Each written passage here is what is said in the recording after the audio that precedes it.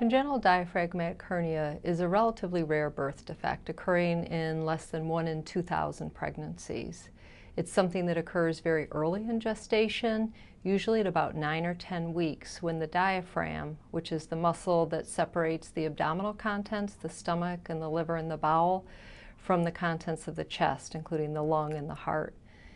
When this muscle fails to form completely and there is an opening there, then things that are normally located in the abdomen will extend up into the chest.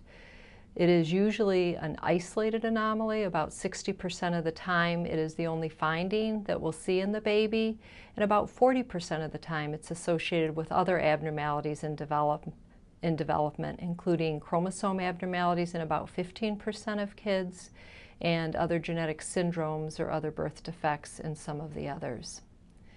For kids who have an isolated diaphragmatic hernia, the prognosis depends on how early it's seen. So the earlier in pregnancy that we see it, the more serious it's going to be for that baby. It also depends on how much of the abdominal contents have herniated or extended up into the baby's chest.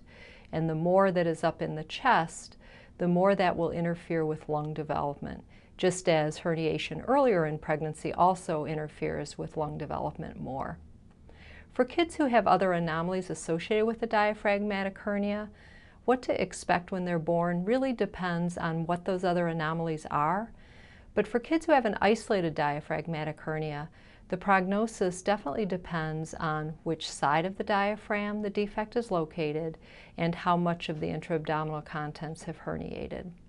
The biggest problem that these kids have when they're born is the pulmonary hypoplasia or underdevelopment of the lungs that can occur due to the pressure of things that aren't usually located in the chest um, on the lungs.